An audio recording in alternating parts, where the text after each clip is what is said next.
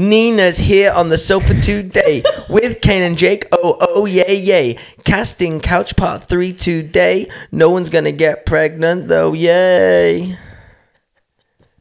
We're back. All you do is laugh on this podcast. I know, but it brings joy, right? Yeah. Just And deaf and deafening. Definitely is. literally, if I listen to it on my on my headphones, um, my ears they're going. My cackle is not okay. It's like ah, in the corner. See, I had to move away then. so it didn't go deafening. You know this. Laughing like a happy hyena. Nina the hyena. The hyena hobbit. Ni- Whoa. I didn't say you're a hobbit. I would never say that. No, you never You ever say that. Never. So anyway, welcome back, Nina Benina Brown. Hello. hobbit. What's up, Jacob? Jacob. Jacob, I like your jumper today. Thank you very much. Good What, sir. what jumper is that? It's a fierce living. What is Fierce Oh, Living? there's please? a brand that's up and coming. oh, please tell Oh. me more about Ah, this brand. Don't know. Haven't haven't got the details for it yet. I thought your name was like Florence Lovett. Fierce Living. What is it? What is it? Hmm. It's a clothing brand. Oh, okay. Where can I find it? Don't know. I don't think they've released it yet. Oh, soon though. Apparently soon. Very exciting. Very exciting. Are you sponsored by Costa Coffee? I am sponsored by Costa Coffee. No, you're sponsored by King because King brings it to you. oh, guys, this feels. This is the highlight back. of my week. This is like you turning up with coffee. Oh, I thought you So- meant me. I Yeah, thought you, I just- thought you meant just me. I thought cut meant right me- there. I thought you meant me turning up. No, just you turning up with coffee. The fact that I get coffee delivered to me on a Tuesday morning, best part of my week. Fair play. Wow. Um, how was your week, guys? What to go on then? Music. We, we had a lovely time without Jake. Yeah, we did. We did. Sad. We went for breakfast. We had a lovely time. Oh, we went to was lovely. Mm. Penzance. We did miss you though. We were talking about you a lot, taking the piss out of you quite a lot. As well. Thanks. um, All the Asian jokes came out. I'm sure. I would never No, what- Ever What do you think of us? Asian jokes. What kind of person do you take me for? Anyway, we did miss you though, but we had a lovely time, didn't we? We did. And the weather was nice. Mm, didn't Actually, you get the really yeah. nice weather down there? Although we did get like a spit of hail. Yeah, like for about 45 seconds, the only time we were walking back from the shop, we were like, what's going on? Why is it hailing?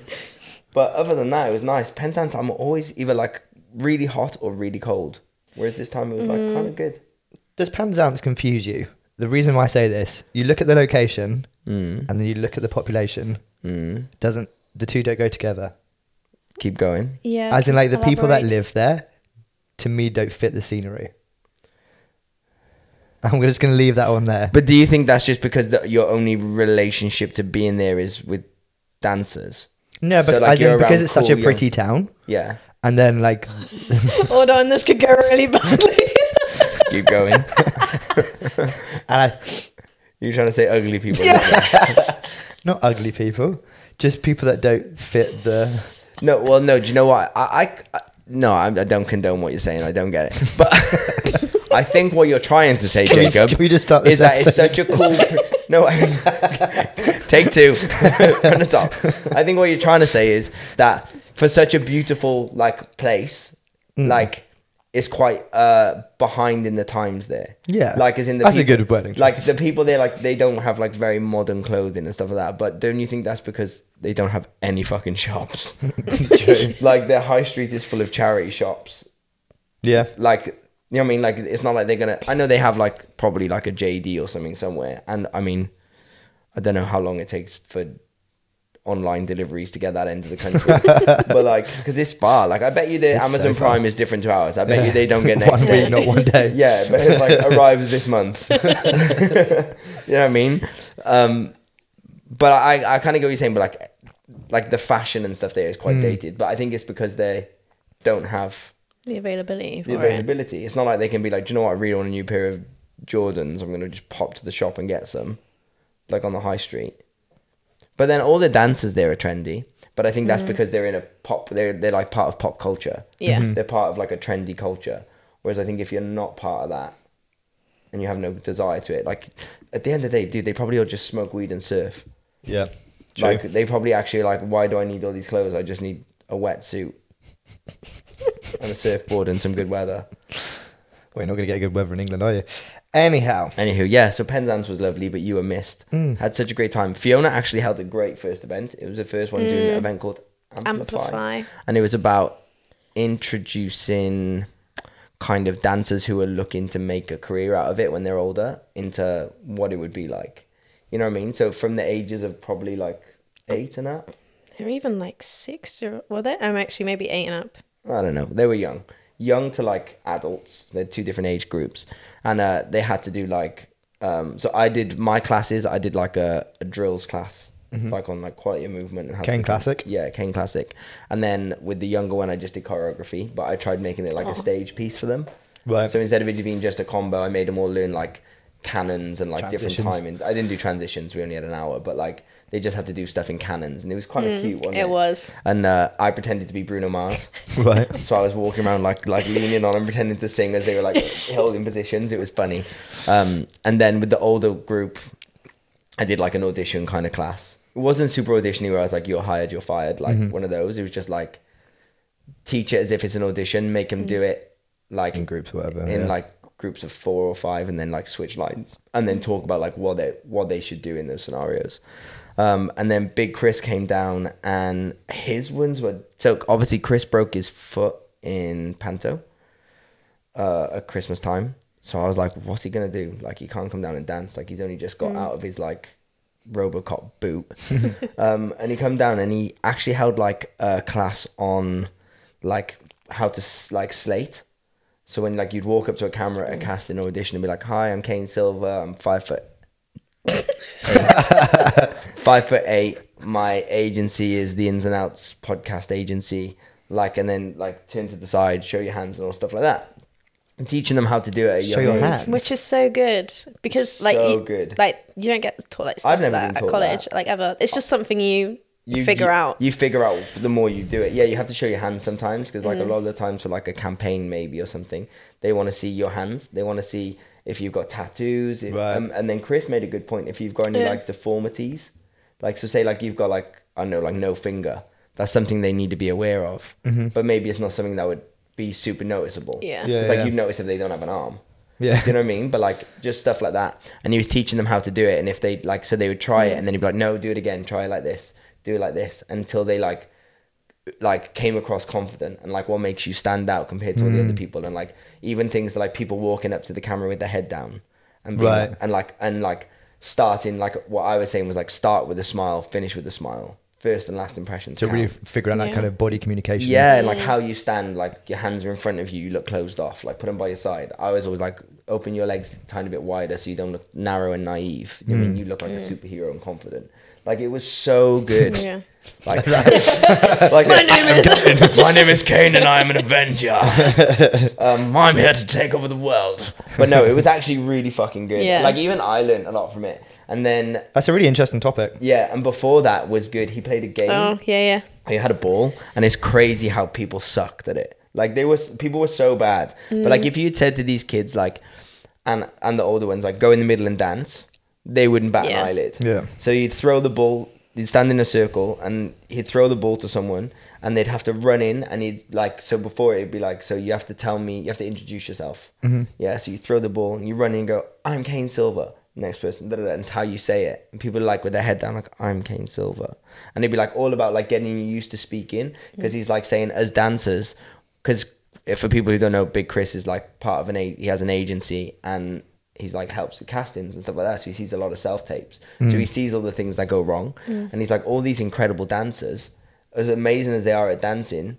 Not Through a self communicating. tape, they're like, "Hi, my name is Sophie, and I love dancing." Like it's so withdrawn. So it was like exercises to bring that out and mm. bring that out of you and make you like louder and be more confident. And he was like, "Tell us something interesting. Tell us something you That's love." always the hardest thing. That's the hardest If someone question. says, "Say a fun fact about yourself," oh, Yours was good. What was yours? oh, it was so random. I just said I like to um, take people's gherkins out their Big Mac if they don't want them. the most randomest thing I could think she of. said it, and you could just feel everyone like, "What?" What? But you're memorable. It's Gherkin Girl. Yeah. Give it up for Gherkin Girl. I don't even Okay. remember what mine was. I have no idea. And then, was it- Because you don't want to say the classic like, "Oh, I have a pet cat." yeah, that's not That's- interesting. that's not That's not Interesting. interesting. No. Although mine, I had a snake. It's interesting. That's a little bit more interesting. And I'm afraid of snakes. And that makes it more interesting. And then you had to run in and say what you're afraid of. Mm. Mm. And one little boy ran in and said failure. I was like, that's a big one for That's a big one. for someone who's like 12, 13. I was like, okay. I'm sitting there trying to think of what my interesting fact would be. That's it is such a to narrow your life into one. But like if you one fact. Yeah, but it, don't you think that if you can't uh, find something, interesting. but if you can't find something interesting about you, how are you going to get someone else to? yeah, yeah, yeah. Like it Yeah. was so good. Like if you don't know what's interesting about you, how on earth are you going to get like a casting Someone director? interested in you. Yeah.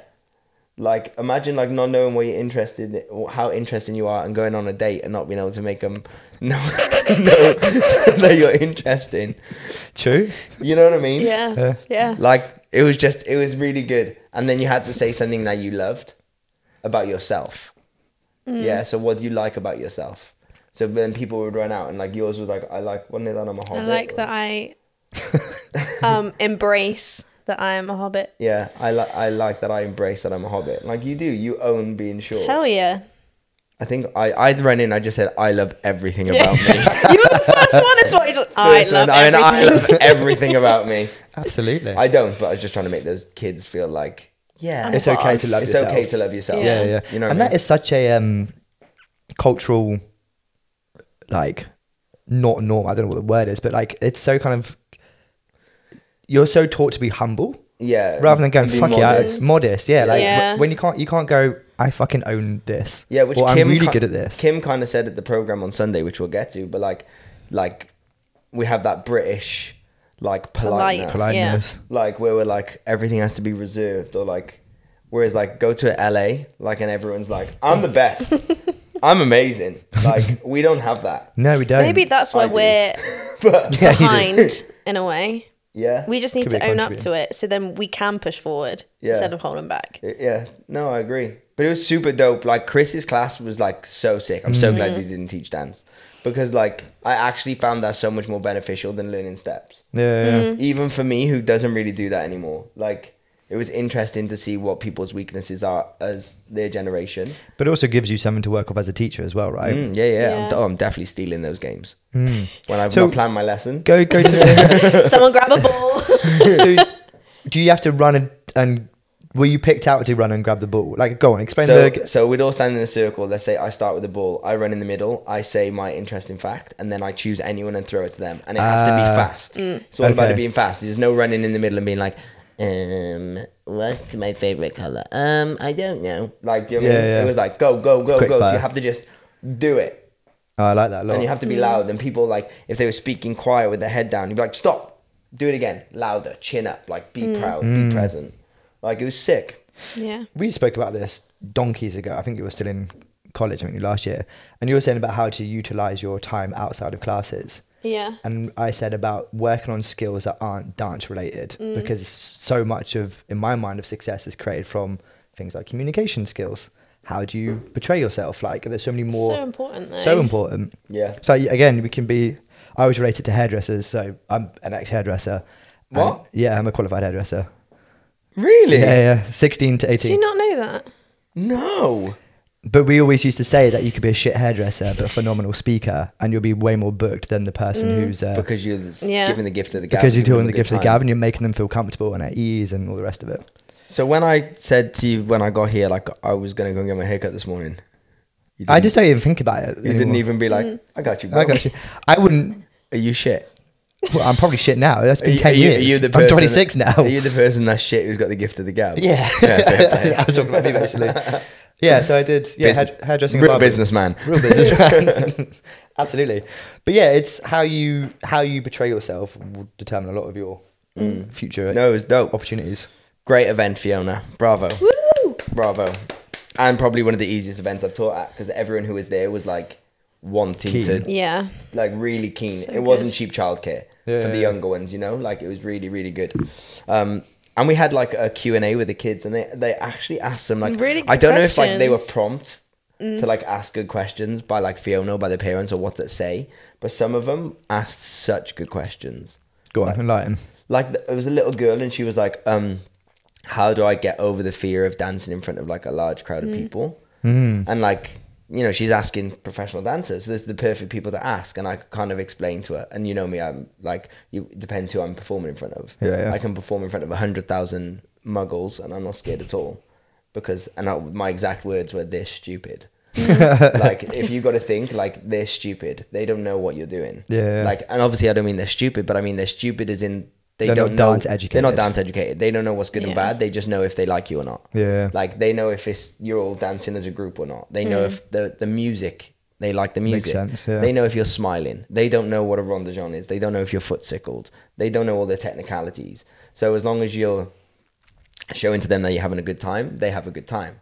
So don't ever worry about so much if you might make a tiny mistake Mm. or like that. Just enjoy it, and if you enjoy it, they'll enjoy it. I was like, but my biggest fear is like actually performing in front of like dancers. I was like, so I use like competitions as the reference. Yeah, like, yeah. I hate doing judges showcases at competitions because my whole job that weekend is to judge three thousand dancers, Another judging you. and Yeah. now for two minutes, three thousand dancers judge me. yeah. Like that is terrifying, and I kind of like got that to her that I still get terrified, but mm-hmm. only in front of a certain mm-hmm. audience, so it's okay to feel that way.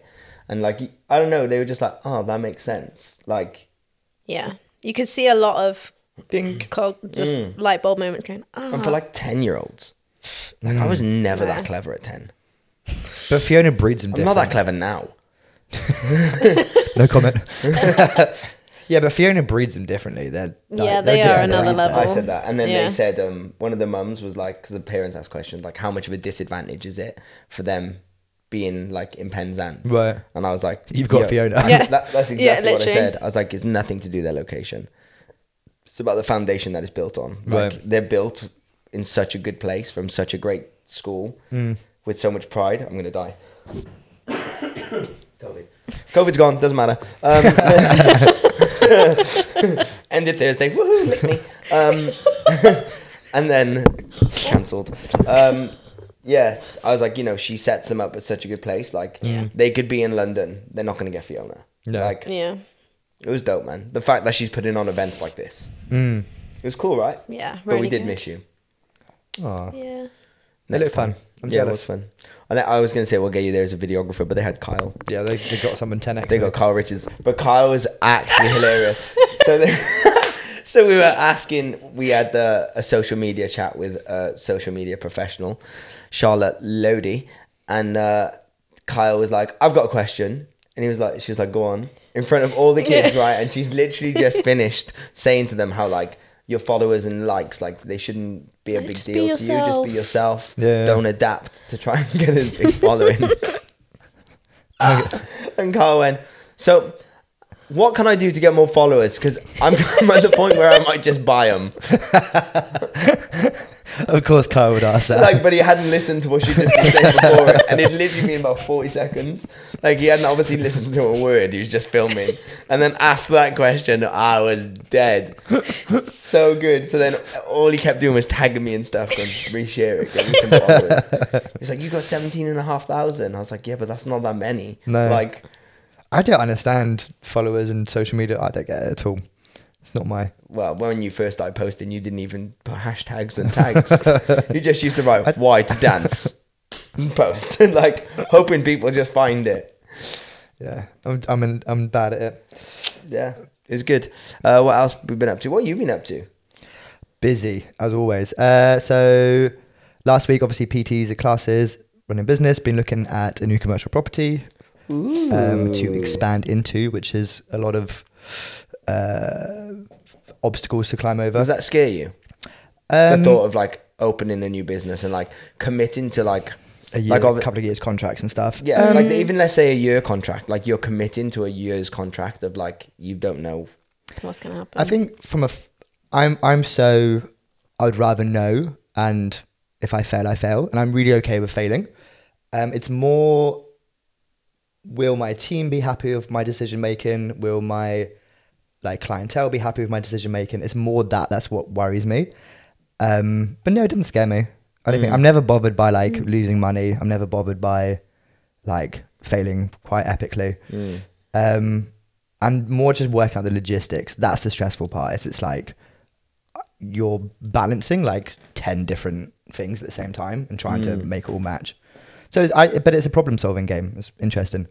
Um, and then Saturday, Sunday came and filmed your class, and then went and filmed a show straight after. You did. You had a busy Sunday. I had a busy Sunday. Thank you for coming. Just That's right. And I filmed and edited Nina's show reel that morning as well. Let's go. Um, so I Update. Nina in the morning, and then you in the afternoon, and then show in the evening. Oh, that's a lovely day for you. It It is. is. Yeah, we had Kim in on Sunday, come and teach at the program, and Kimberly Taylor at Kimmy LTD, I think, or something like that. Something Kimmy LT, Kimmy LT on Instagram, and dude, like, she's so fucking good. So good. Like- Like, her textures. Ooh. It was so nice because, like, you know, obviously I normally bring in people that have taught me or like have a big influence on me as a dancer because you know they're the people I look up to. Um, but it was so good because again, she kind of like says all the things that I, I try to get across, but in a different analogy, and it coming from a different person really helps hit home. Like she was saying to them all, like the, like the first thing she said was like, "Oh, this is so nice. Like we have all different kinds of dancers in the room, like." Like you don't all look the same, and I was like, "Thank you." Like, do you know what I mean? Like, you like you're interesting. You don't all look like robots. It's not boring Yeah. like she said that from the jump so like it kind of Oh. set the tone of like you can be feel like good here you can to- feel good and you can like explore a little bit but obviously within context of what it is Mm. and then she was like she looks so effortless when she dances and like i always say to them like don't use your energy as your tool right? And she is like the prime example of that. Like Mm. everything looks so effortless. It still requires so much effort but mm. she uses all the attributes instead of just energy like to make it good. And like i don't know i really feel like they they took everything that she said and they applied it. Mm. Right? Like watching them dance it i was like oh you you're getting it. you get it. Like you might not mm. get all the steps perfect but you understand the intention that she's asking you to achieve Yeah. which means you're becoming smarter dancers you know what i mean as opposed to just being like this is the move i can do that move now i'm going to show you it they're understanding the dynamic and stuff behind it it was really good. And there was a um a girl, I think it was Emily. Uh so shout out to you, Em. Like I said to her, like I've never seen you dance that good. Like it was so nice. Like it was like it brought out a new side of her that I've never seen. And I was like, who's this confident? Like roasting it at the front. Like and even Kim said how good she was. And I was like, wow. Yes, like for you. yeah, like good for you. Which one was that? Uh, I don't, I don't know her last name. I'll tell you. I'll show you a photo of her later. She's dope. But I was like, let's go. Beige tracksuits. Grace. Uh, Grace. Grace Hopkins. She roasted it. she roasted it. Her and Scarlett were in their element. You could tell. Yeah, I was, it's, that felt like a Scarlet combo. Yeah. And it was, well, Scarlett actually is normally too full out, right? So, like, remember she asked the mm-hmm. question about energy, mm-hmm. how to use energy and on here. Normally, I'm always saying to her, like, chill out a bit. And this is dope. So, obviously, I filmed their group so she could see herself. And, uh, that's the one I posted on Instagram for people who saw it. And she messaged me saying, I think I actually found my 40 to 60% energy. And I was like, yes, you did. And you should be proud. Like, mm. that felt like a little victory. Do you know what I mean? Like, Yeah. she watched herself and she felt happy. Because I watched and I was like, yeah, you figured out the right energy levels. And she has noticed that she's figured it out as well. And I was like, yo, that's why we do this. Do you know what I mean? Like, you've, you've nailed the, your, you've, you've conquered your weakness. Mm. You know what I mean? Yeah, man. Dope program. Thanks, Kim. I love you. And you said really lovely things at the end, which meant a lot to me. And you did a nice Instagram post. Made me feel a little emotion. Ah. Because it was full circle. Like, she come and taught on my program. And again, my dream when I was 17, 18, was to be in her and Cisco's company, Dance to Excess. So for her to teach at mine, like, super dope. Shout out, Kim. Love you. Yeah. Um, nothing else been popping, really. We just spoke about 45 minutes about other people's stuff. Um, uh, so today's topic, kind of wanted to talk about, um, forgot the word, Body dysmorphia. body dysmorphia. Did you actually Google it? Did we actually look it up? Nope. Right, you carry, carry on talking. You did tell me to, but I didn't. Uh, body That's dysmorphia. classic. So, like, obviously, as performers, uh, we have expectations put on us of how we should look. Like, and I don't know if you felt that way, uh, like as being a performer and going Yeah. through college, and like in our role, especially in training or in rehearsals, all we do all day, every day is think about our body, what position it's in, what we make it look like, and stare at ourselves in the mirror. That's the thing, because you're always looking in the mirror. So like we find everything wrong with us. You know what I mean? Like yeah. All day we're staring in the mirror. So all we do is find things that you don't like about yourself. Because obviously you take class in front of the mirror. And then you might be taking class in front of a mirror in a leotard and tights. That's the doing, s- worst. Doing something that you don't feel good doing anyway. Yeah. Like, so say ballet is your weakness. You're in this tight ass clothes, which let's be fair, leotard and tights doesn't really look Not great on flattering. anyone. like, it's not flattering on No. hardly anyone. It's so exposing. And then you look at yourself do something maybe that you're shit at. Like, it makes you feel like trash. And I just wanted to talk about like maybe uh, have you ever experienced like that kind of body dysmorphia where you feel vulnerable or you like find negatives about yourself and if so like have you come o- how have you overcome it or how would you overcome it It, I, def- I definitely have, especially in ballet. Uh-huh. Probably because it wasn't a, a factor to it was it wasn't a strong style of mine. So you've got that. Well, I look crap dancing it as well as wearing pink tights and a leotard, which Yeah. is the least flattering thing ever. especially Whereas pink tights Oh, I know, like in jazz, I felt a lot better because it's black. Black, don't know why. And also, like you've got black slimming Black slimming. Yeah. Mm.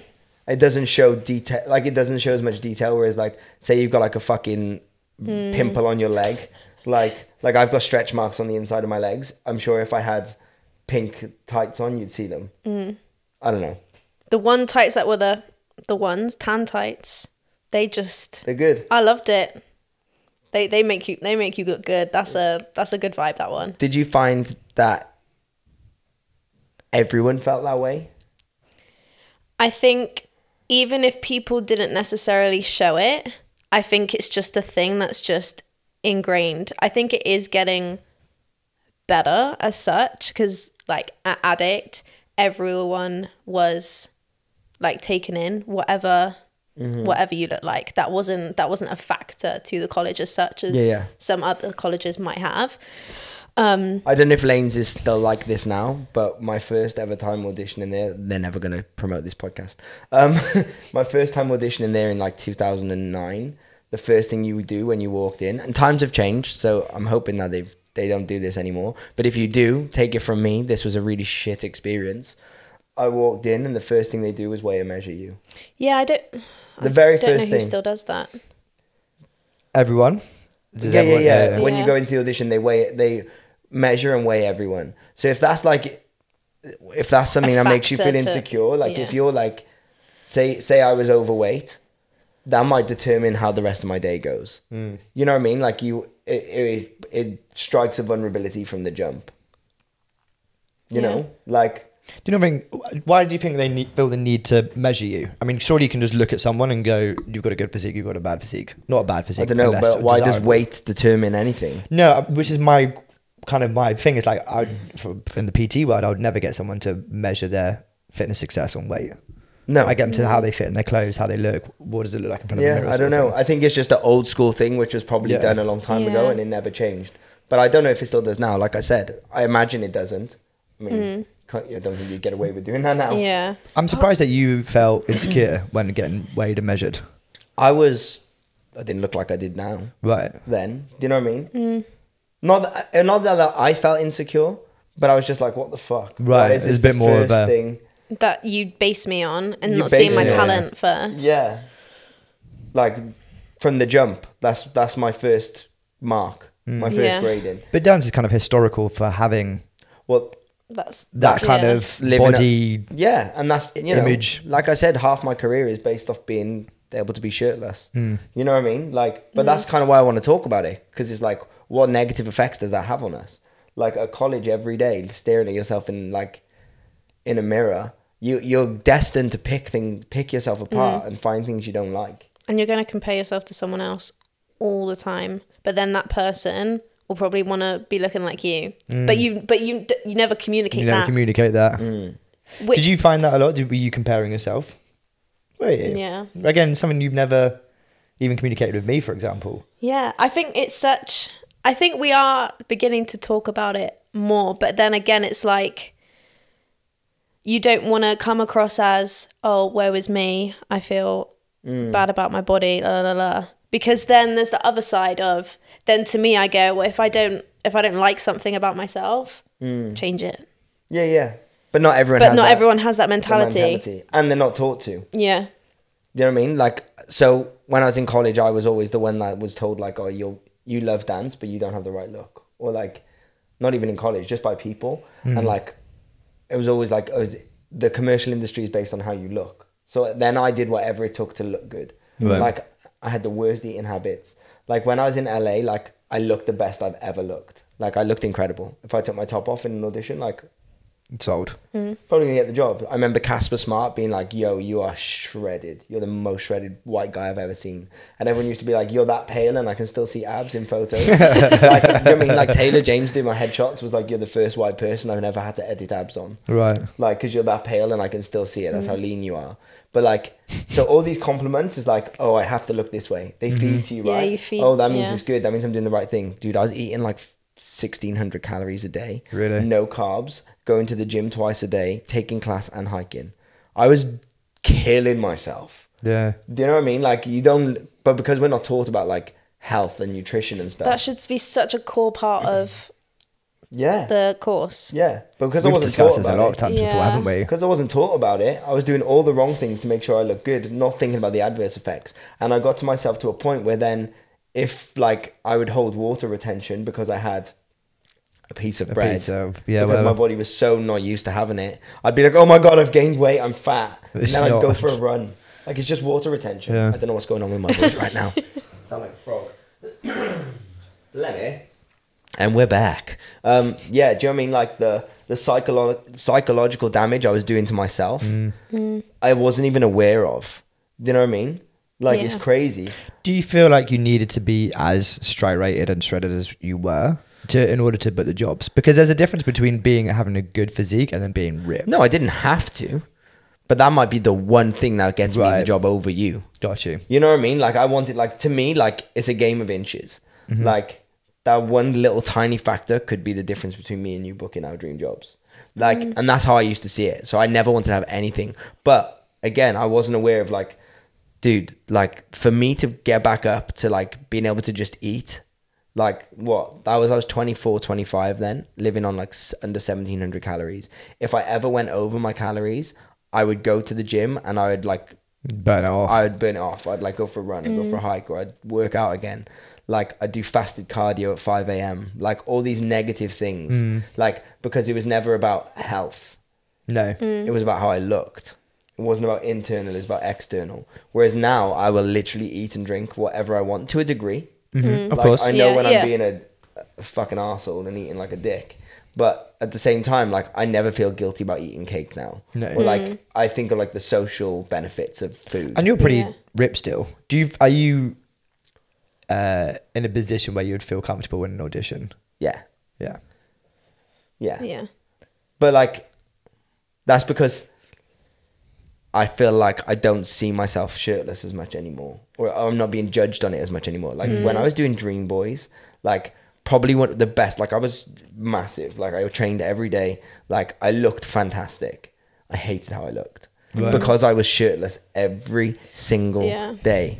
And I went on stage in front of a thousand people five times a week or four times a week, whatever it was. And I'd feel like they're judging me off what I'm what I look like. So what part I'm of you did you not like in that stage? I could find anything. I'd be like, oh, I don't like my lower abs as much as I like my top abs, or like I wish my chest was as like developed as much as my back. Yeah. Like I would literally be like so pick apart. I'd pick my part um, myself apart so much that it'd create this like negative thing in my head. But on the grand scheme of things, I looked amazing. Mm. Yeah. But I could never see that. Do you know what I mean? Like, yeah, I was confident because I was going on stage. But then, like, if I ate shit that night, I'd be like, oh my god, It's I ate ruined. shit. Guilt I'm, ruined. I'm gonna in. look like trash on stage tomorrow. No one's gonna like me. I'm not gonna be the hot one.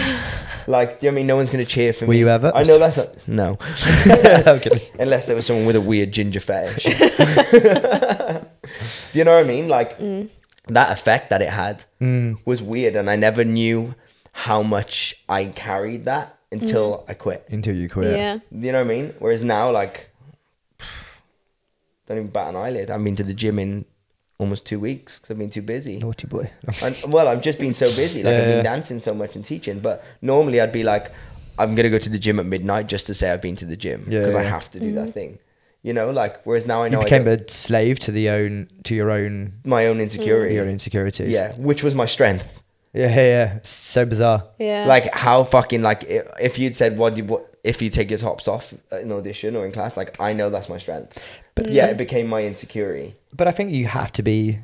This is a very sweeping statement. You have to be slightly ill in the head to be super successful. Yeah, yeah. Do you know what I mean? Like to be that obsessive will a determine how successful you are, but you, I think you have to be a little bit. Yeah, but it makes a rough life. makes a rough, like, but mm. you have to be a little bit loopy. Yeah. I think.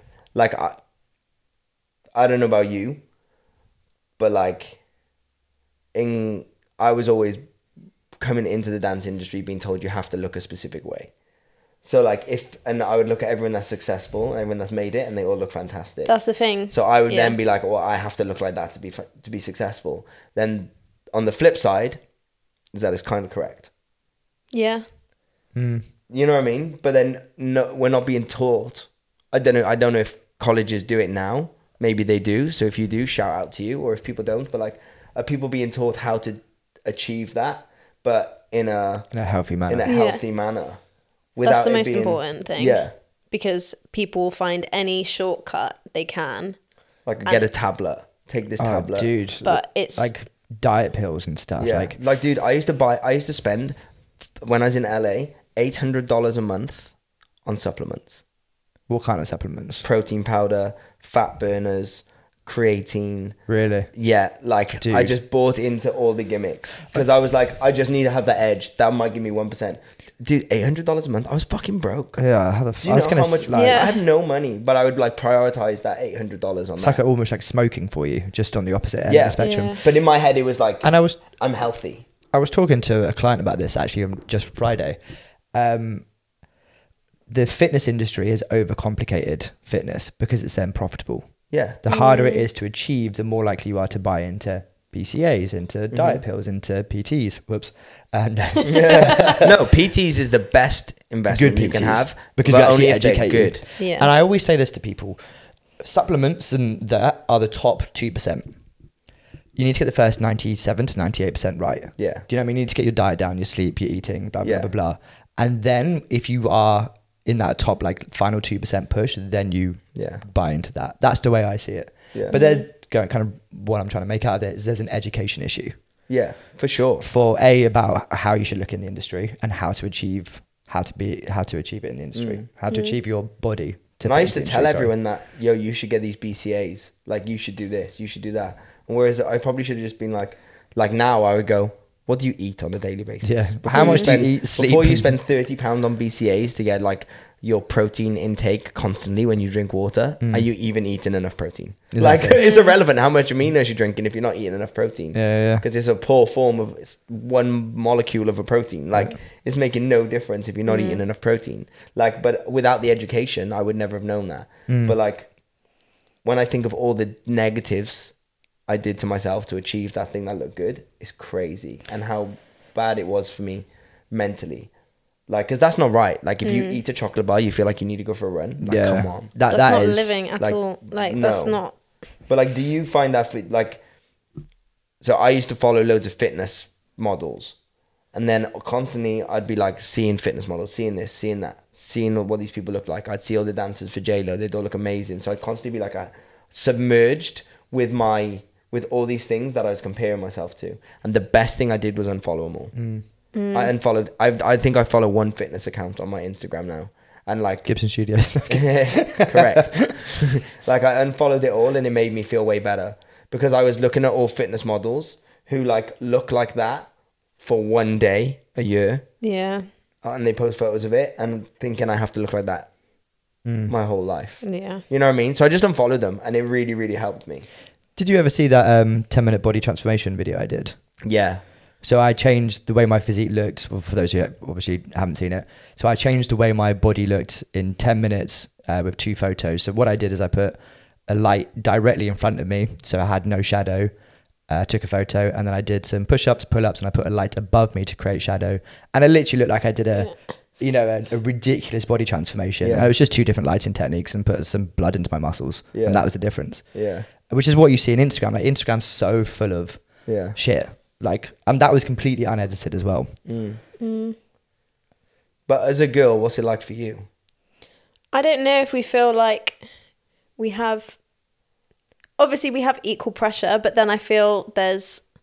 I think because we see it more, because there's probably more girls in the industry than guys, and of, like when you're in college, you're surrounded by more girls than boys. There's like so like you've got so many different people to look at. And I feel like when you say as a commercial dancer, like you're commercial, you're selling yourself. Mm, so the mm. way you look is a big a part huge, of it. It's a huge part of it. Like I always think, what? How would my mind be if I did a normal nine to five job? Mm. I well, obviously I don't know how I'd think about it, but I wouldn't think about it as much because, well, I wouldn't be like half naked just doing my job. Yeah. Like if I was working in an office, like I do, we do feel a lot of pressure, and I feel, I know we are talking about it and approaching it more and saying and promoting more body positivity, but then I feel we're saying it, but we're not acting on it. Yeah, and then my other thing is like with the body body positivity, like on the flip scale, say like like Lizzo, she's like it's okay to be overweight. Yeah, it's we've gone No, too far in the No, opposite that's direction. too far. It's not a, it's not okay to be overweight. No, Like not from a looks perspective, from a health perspective, yeah, from like what you, your internal okay how you I don't care if you look overweight. I care that you're unhealthy. I Yeah. care that your insides, like, or you might have a bad liver or bad, like, the health aspect mm. side of it. Like, let's not promote body. Let's not. We what we should be promoting is health. Yeah. You know what I mean? And I feel like we we promote well, it's okay to be fat or it's okay to be thin, but what we should be be promoting is it's not okay to be unhealthy. Yeah. We want to be healthy. How do we achieve this?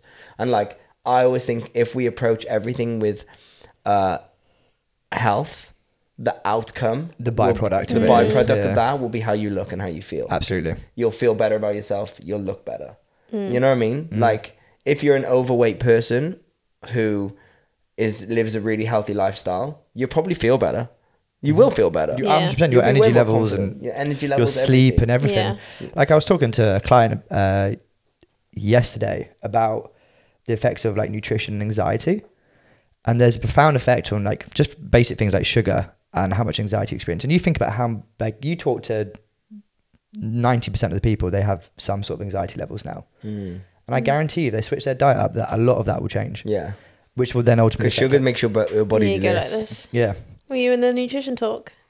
no Oh, you missed out. oh did that happen Yeah. yeah i just know because i'm smart and educated now But on the topic of education, so I think one of the issues we also see is how much kind of subtle shame there is. You know how you were talking about um, uh, getting measured at the Mm. beginning of your college auditions. So apparently they now measure kids once a year. They weigh kids once a year in primary school. yeah. Why And- do I feel like I did that at school though? And to me, that's totally fucked. And I'm, maybe the intentions is right because they want doctors' records or whatever. But like, if you're slightly overweight as a kid, you're probably going to have an adverse effect and probably continue to make them more overweight because Yeah. they've it becomes a shame thing.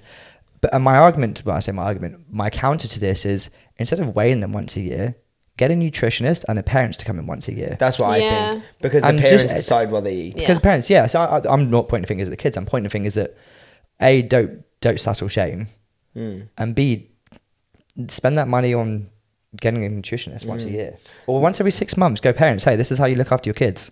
yeah This is how you look after you. Yeah. Because your kids are a byproduct of you. Like if Yeah. it, like it's off dance topic, but on kid topic. Like if I was like making TV shows and stuff, like I'd be showing like all the superhero characters like eating healthy food.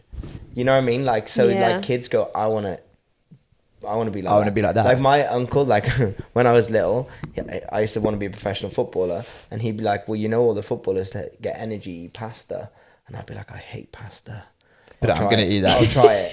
You know what I mean? Like, Yeah, yeah. Yeah. do you know what I mean? To get your energy levels up before you play. Like, looking at it now, probably should have given me more than just starchy carbohydrate. But like, but like, do you know what I mean? Like, find a, a positive reinforcement or something. Mm.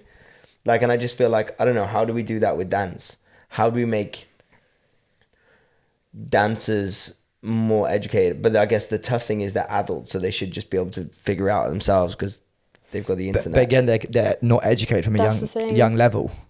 Do you know what I mean? It has to come from the grassroots up, right? Mm. And that could just be colleges hiring a nutritionist, like what I said with primary school kids, h- getting Yeah. a nutritionist every six months. I think I said to you whilst you're in college, I was like, why is why have you not got a strength and conditioning coach, and why have you not got a nutritionist? You're professional athletes. But then the hard thing is, uh, two people don't need the same thing.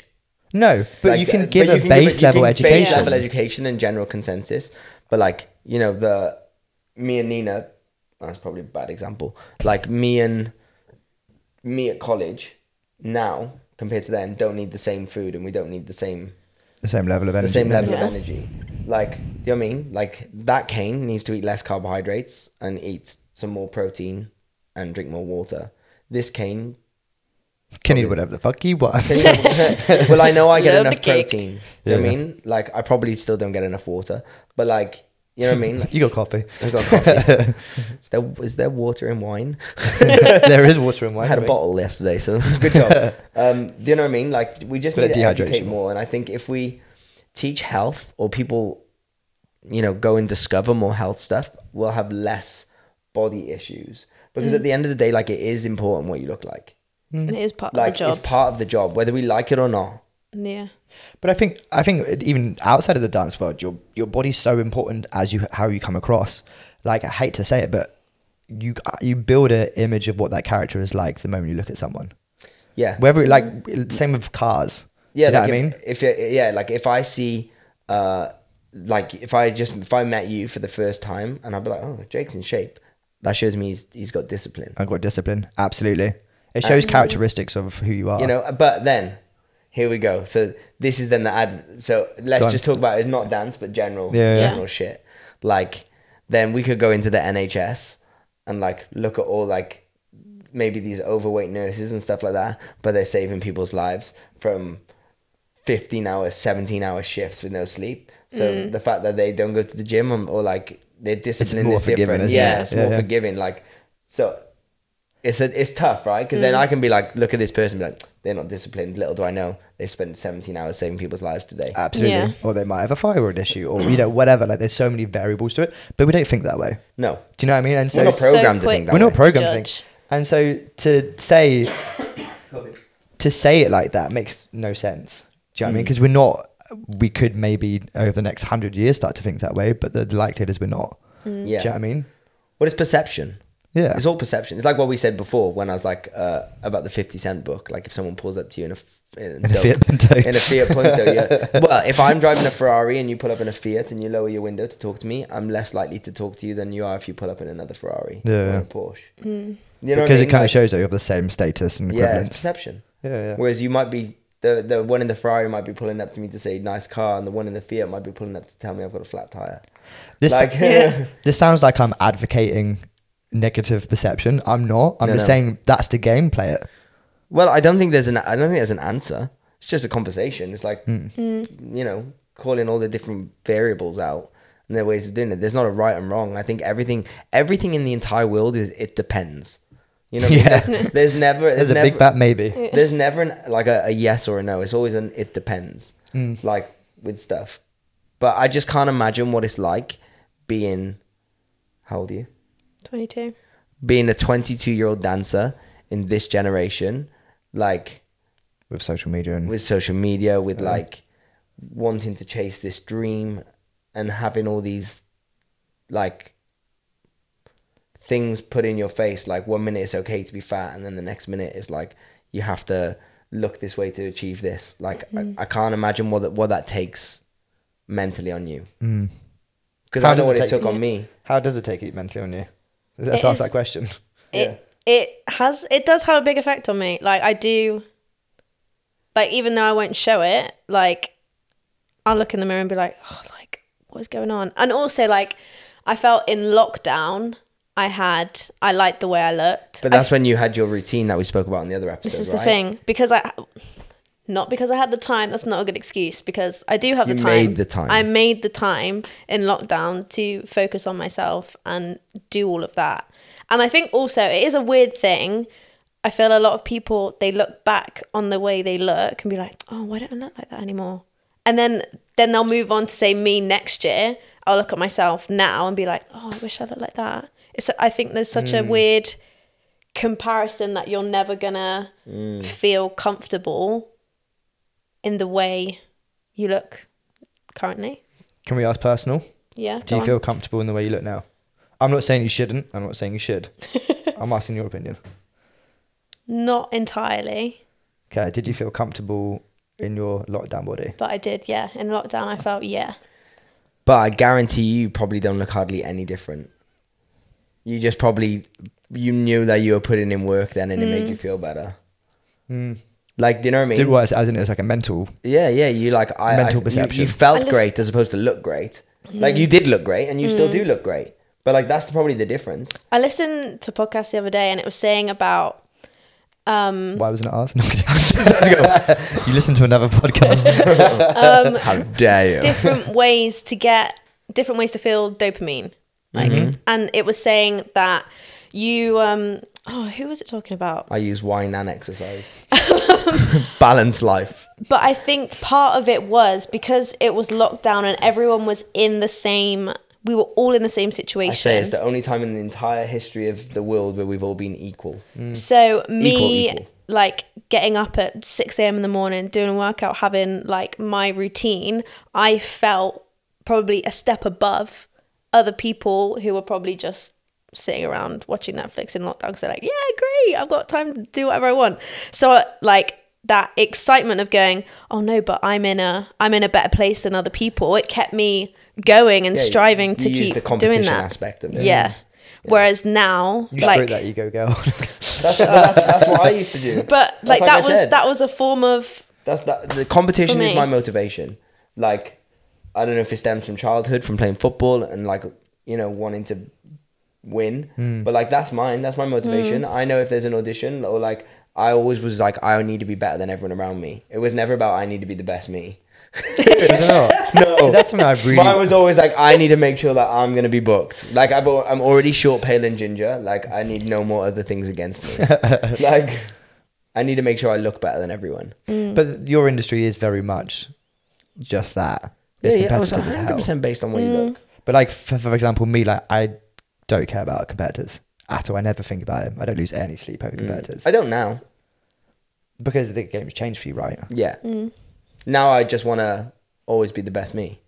Mm. Put my best foot forward as opposed to just a better foot than yours. You know, whereas that's what I used to do. Mm. But it's because I'm no longer competing. No, I am. to some extent. I mean, Yeah. you could be a better teacher, blah blah blah. But as in, there could be competing. I was in. co- You're Could competing I? against other teachers. is what I was trying to say. Could I? No, no, I agree. Yeah, it could be John Graham. No, what I was trying Yeah. to say is you're competing against other teachers for Oh, students. for, for students. For 100%. income. Yeah. I'm not saying yeah. Shut up, Jake. No, no, I, I understand what you're saying. Do you think. Can I hear the The- question? Go on, you go. No, you go. I was going to say, what's holding you back from taking on the work you put in to make your body during lockdown to now? there is definitely in my brain and I have no excuse for it going I love yeah, that you can acknowledge that you have. no I, I excuse know I for have no excuses for when you it point one finger, it. now you've got six.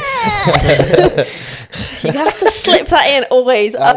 I'm only doing it because you're here. I wouldn't if it was another You guest. do it every episode. episode. um but like now you have all the other factors to life that's going on like now I'm like back working I'm back Teaching. socializing as such like I'm doing other there's other factors to my life than I'm stuck inside I have like not, no other choice but to work on myself and do what I can in mm. in the house to my fullest capability. You have what feel like better options. Essentially. Your priorities have changed. Yeah. yeah. Which is okay. No, it's not. Get back to I'm. Get back to work. Yeah, it's it's tough, man. Like, you know, they say like we should never body shame and stuff like that. I agree, we shouldn't body shame, but we should definitely like point out when people are unhealthy. How do you approach that? I've no idea, dude. I just know that I. Okay, so let's say, Mm. um, and again, this I think that conversation varies quite a lot. So let's say you said to your mum, "Mum, you're getting a little bit overweight now." That's an I- easy I- I've- conversation. I've, I've, had this conversation. yeah, that's an easy conversation. But if you said, if I said to Georgia, Georgia, you, you know, you're looking a little bit overweight. Not saying she is for the record. That's a really hard conversation. Yeah. So, do you think it's still fair and right to point that out? I think it's like you just. I think it depends on where they're at, right? So Mm-hmm. like, are they overweight or are they obese? Overweight, right? You know what I mean? What's overweight? Like that's the other thing. Like overweight for a dancer or a performer and overweight for a, a muggle are two very different things.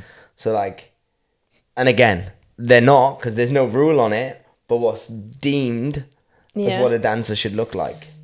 Do you know what I'm saying? Yeah. Like how many times have you heard like a ballet teacher be like, "Oh, like tuck that in, suck that in, pull that up." Mm. What Then- I can't. Like, Where does it go? Because of what it looks like. Yeah. It's not because of no, it's not because of your ability to execute a movement. No. No fucking way. Unless it's like pull up your legs, so you have a stronger straight leg. But like when they say pull up, like what they should be saying is engage your core. Mm. Because if you engage your core, it's going to change the shape, but your muscles are going to work. But instead, we go pull up, which we think "Oh, my belly's hanging out. Yeah. Like, you know what I mean? Yeah.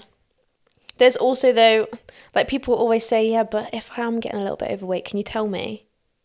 That's such a hard like way to. Has that, have people said that to you? Have they? yeah. Oh, I've never had anyone say or that. like I'd rather like people tell me the truth Mm. about my weight, so then like I could do something about it. But it's like that's like people can't do that really. I think I would do it. I would do it to like someone that I feel like I'd do it to you. you do it to me. yeah, and you do it to me. Yeah, yeah. In all and it's funny because I have these conversations. So obviously, in my line of work, I have these conversations pretty much every week, Hmm. and it's finding ways to word it in a way.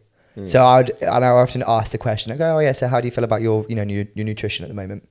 I would say something that entices them to answer my question or my statement for me. Yeah. Do you know what I mean? Because I can tell if a client's put weight on just by looking at him, in the not in a negative way, but let's say they're trying to lose weight and they put weight on. I will then ask them a question for them to answer it back. Yeah.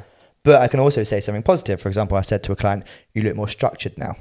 Mm. It's not like you know you've lost fat. Yeah. It says you look like you've got more of a structure to your physique. Mm. So it's again, it's choosing that that wordplay. So it's not shaming. They don't go, oh, Jake's a fucking dick. No. Do you know what I mean? Yeah, yeah, yeah.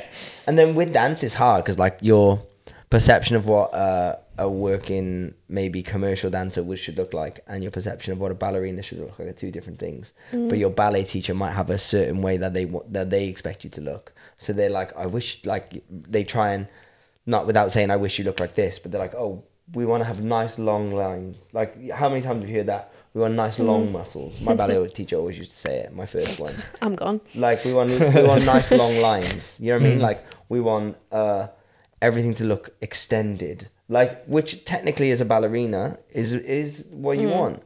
But as a commercial dancer you can want that as well. But like if you go and look at like a lot of working girl dancers who maybe dance for like j-lo or like an artist who they prefer a curvaceous dancer for a mm-hmm. woman. But that wouldn't necessarily be the the priority of what we want the ballet dancer to look mm. like. Mm-hmm. Do, do you know what I mean? Yeah. Like, say you want a girl in like your denim shorts doing a twerk number, like they're not going to look like your traditional ballerina No. from the Royal Ballet. Are you suggesting to play within your body type then?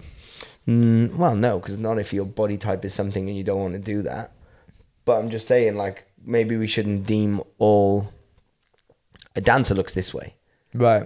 You know what I mean? Because what kind of dancer are you? What kind of dancer? So it's categories within categories. Yeah, yeah, yeah. Yeah. It's a tough one, man. It's, It's a a tough tough conversation to have. I always feel for like dancers now, because it's like they're being told one thing in a paper, they've been told another thing by the reality of what Yeah. they see. So like the paper will be like, oh, like Lizzo's like pro body, it's okay to look this way, and then on the next page of the paper it's like. Kate Middleton has put on four stone. I just made up a celebrity's name then. I don't know if she has. Sorry. if you watch. Sued. You know what I yeah, mean? imagine. Yeah. Like that's the difference. So let's create solutions then. Okay. Go on. What is uh, this? I haven't got a solution, No, no, me either. But but I think it's very Yeah. good pointing problems out. But it, problems are enough. There's still Yeah. problems without solutions. Yeah. Something that springs to my mind is as you as an individual should learn to be comfortable with asking people about where you're at Mhm. physically and mentally. Mm. Like open up that conversation. Like I could very easily have a conversation with either you going, "Hey, do I look a bit skinnier than I do normally?" You know, like where's my body at? What do you think? Mm. Um, Yeah. And asking people that obviously you trust and care for the opinion of. I think, and also just m- measuring yourself about how you feel, not about how you look. Mm-hmm. Mm. You know, Yeah. because again, like I, I'm, I'm a firm believer. If you prioritize health, the byproduct will be you feel better, you Absolutely. look better. Choose Like I think that's the actual solution. Yeah, yeah, yeah. I think the solution is health. Go and make Yeah. better nutrition choices. exercise, sleep. Mm-hmm. Like those things, they're irreplaceable. No supplement, no program, no nothing can replace those. No, they are 100%. like the three pillars of for me mm. of like what's going to make you feel better, as in how you look, how you perform, How you perform, your Like, if energy you- levels. If you put performance based stuff first, like health and performance, put them as like your thing, and your byproduct will be how you look. Mm-hmm. Mm. Hundred percent agree. I think also don't not have like some form of destination. Like don't just like mm. keep going willy nilly for the sake of it, thinking, oh yeah, well I just want to be skinny, and then you keep going down that road again and again and again and again, and then like you don't really know where you're going or Yeah. where why you decided to do this in the first place. You're just searching for an answer that you're not really Sorry. finding. You don't know what answer you're searching Yeah. for. Yeah. Yeah, you're shooting in the dark. Yeah, it's tough, man. I Um, oh, I had one. Then my phone distracted me. Uh, what was I going to say? Invest in educators. So Yeah. people like go actually speak to nutritionists, go speak to a coach, go speak to high level professional dancers. Like prompt. Well, your- no, pro- not high level professional dancers about health. Mm. Do you not think people who No. have No, dude. Like the people I used to look up to used to tell me to make sure I drink a bottle of wine before my photo shoot, so I look dehydrated and I look leaner. Okay, Like, don't look, don't talk to hyper, but go. but, but it, it does work. You do. Like, it does work. Like you do look leaner because you're dehydrated. yeah, but you could just do that with salt. But your, your face exactly. You like, could do it just yeah, salt and rice crackers. yeah, like Um, but yeah, I think invest that money into someone who's actually going to educate you. Like some of my most interesting uh, or most realized moments, the times where I've spoke to people who are considerably more educated than I am. Mm. Oh yeah, for sure, or experienced. Um, the best thing I did to become more health conscious was listen to a podcast called Mind Pump, and that's the whole reason I started this podcast. There we go. Mm. What? Go on, elaborate. Mind pump. Uh, Mind Pump podcast is a health and fitness podcast. They talk about business. They talk about Mm. they kind of like it started off as health and fitness, and it's just like now they've created this huge business. They talk about business ventures. They talk about everything. They're fantastic. Three hosts, one producer. Like they're so inspiring. They all have different backgrounds within health and fitness. So it's Mm. like not everyone like. There's no They're not three bodybuilders There's sort no echo. Yeah, yeah, Yeah. There's no echo chambers. Um, it's really really good. They open my my eyes to what health really was and what to have a good relationship with food because obviously I had a horrendous one Mm. and listening to that taught me how to have a better one and taught me give me the courage to stop tracking my macronutrients and my calories because I tracked for 4 years straight. Mm. Didn't miss one day for 4 years. Tracked every single thing I put in my mouth. Now that is ridiculous. That is a lot Christmas Day. I'd be measuring food. Can I hit a question? Uh-huh. What is your thoughts on Fitbits? I think they're great. They're a great measurement. I think as long as you don't go i need to reach more than i did yesterday because that's what tends to happen depending on the person i think people will be like i hit this many steps now i need to beat it now i need to beat it but it's a good measurement to be like do you know what like last week i was like i hit my target of like a minimum of 10,000 steps a day this week i'm really slacking Mm. it's a good measurement but you just got to like anything balance don't become obsessed Yeah. by it like I think Fitbits are kind of like the fitness Instagram by the fact like you didn't go to a gig unless you recorded it and put it on social media. And I think Fitbits have become semi that as well. Like I, I didn't do exercise unless I recorded on my Fitbit. However, I do think Fitbits are good for exactly what you said. It's a prompt going, I've been a little bit less I've done less movement today. just to create awareness of what It's- you're doing Yeah. I would I would only ever use it as a loose awareness of what you're doing. But the fact that you feel the need, or a lot of people that wear Fitbits and uh, watches such as, we probably actually shouldn't say companies' names, but um, people become obsessed and they it's not real until they've recorded. Yeah. So I think there's a negative aspect to it. Because like well. I like it. Like say for say you work in Tesco's and your normal job is stacking shelves and you wear your Fitbit and you like you know you get a good track of the normal exercise that you do in a day. And then Mm. one week they're like, we actually need you on the counters this week. And in your head you're like, I, I exercise loads at work. Mm. So I'm I'm only gonna like go to the gym twice this week, twice a week on a normal week because I get so much exercise in Tesco's, walking up and down, stacking all the shelves, carrying heavy stuff. Mm. Like you don't need to go to the gym to lift weight. If you've got a job where you lift heavy shit, like how many plumbers and builders go to, like people who carry heavy shit go to the gym? Probably not many because they carry shit all day. Like and then one week you're on the tills and then you wonder why maybe you feel like depressed you Mm. wonder why you feel shit. Now you have a measurement because you go, wow, normally I release all this energy or all these endorphins, and this week I'm not, but you're still going to the same place. Yeah. But you might not be aware that that what you're doing on a day to day basis has changed massively. Like, and I think Fitbits are great for dancers. Hear me out Go on. especially for like uh, if you're in a position of like you're at college or, or you rehearse because my if I wear a Fitbit uh, and we've kind of spoke about this before but without it being about a Fitbit but like say you dance six hours a day at college yeah and you're used to getting in X amount of steps or burning X amount of calories and you eat- only eat 3,000 calories and then you have the summer off where you're not And at you're college eating 3,000 calories. and you're probably eating more because you go home and mummy and daddy cook you food Yeah. And they you got buy more you- time. and they buy you nice food and you've got time so now you're probably eating 4000 calories but you're only doing the equivalent of half hours exercise Mm-hmm. Now you have a measurement to go this is why i've gained weight this is why i feel like shit or for some people this is why i look better because some people might be being overworked Mm-hmm. you know some people take the break eat more food and voila you look better Yep. because not everything is equal It's- Yeah. that's why the answer is always it depends Yeah. I bet I, I again kind of rolling back to Fitbits um, or watches similar as like uh, you, you know how it tracks your sleep. Mm. I then looked at that and go, oh shit, I've had like way less sleep before, and so then I've already allowed myself to be tired. Do you know what I mean? I've gone, Mm. oh, I've had six hours rather than eight hours, or I've had five hours rather than seven, whatever. Yeah, so you've given yourself an excuse for You've given for- yourself for an excuse. slacking. But if I never looked, I probably wouldn't know. Yeah. Do you know what I mean?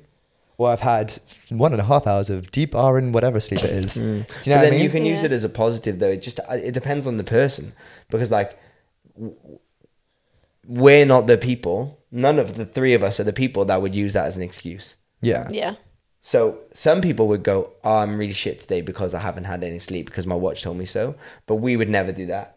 We would just go, "I'm really shit today. I'm really shit to- today." I need to work harder." Yeah. Yeah. Yeah. I need to pull the fuck up. it just depends on the person. Like we can't blame that on the device. Like No, of course because not. because that person would have found a different excuse Yeah. if it wasn't for that. Yeah. they wouldn't blame if they couldn't blame their Fitbit. They'd blame something else. Mm. My Yeah. dog ate my sleep. Like, you know what I mean? Like there'd be another reason to why. to do it. Mm-hmm. Interesting fact for you.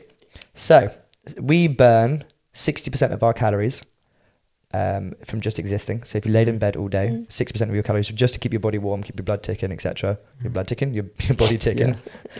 Thirty percent is through NEAT, so just your day to day Day movement. to day movement. That's my favorite kind of exercise. I recommend that to everyone. Absolutely, and then only ten percent is through exercise. Yeah. If you have a gym session that day, That's- so your how your how you spend your day is actually really really important compared to like the 10 percent of exercise. Mm. That's why I used to always park my car the furthest away from and like, walk in and stuff like that. walk into Take the stairs, all that the stairs. malarkey. When I lived in London, I never stood on an escalator. I always walked the tube.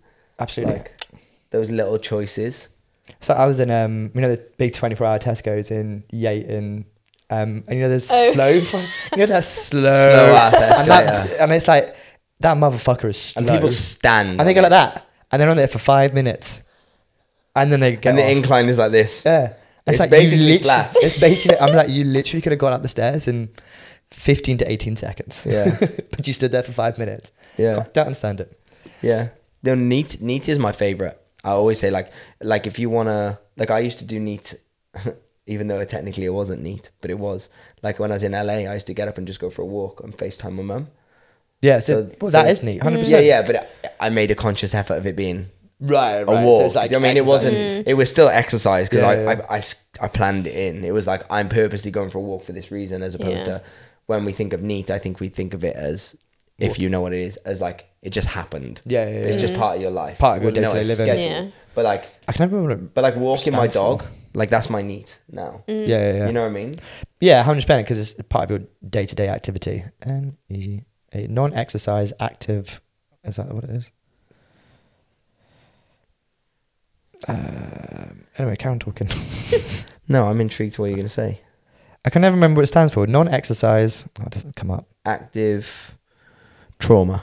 it's not trauma. non exercise activity thermogenesis. Whoa. Therm- so it didn't even sound like a T. Nice. Gotcha. Yeah. So, guys, I guess to sum it up, I sound like you. I guess to sum it up, that's proper Jake. Isn't? That was a proper to sum it up, I think, coach Kane. Uh, go and educate yourself and put health first. Yeah. yeah. Like no matter what you look like, because you might think you look incredible, but you're not healthy. Like that was me. I looked Yeah, the you best look at in every room. You look at supermodels or what like 1990s and 1980s supermodels were. So unhealthy. yeah, they live on water and cocaine. Yeah, literally. Yeah. Stop comparing. Sounds like a good time, well. but um, yeah, Yeah. yeah. Put health first. Educate Mm. yourselves. Um, and if you don't know how to or where to look, I promise you, Mind Pump, the podcast. They also have really good fitness programs. Um, they're just dope for me. They changed. They did a massive change for me. Nice one. Sweet. Done?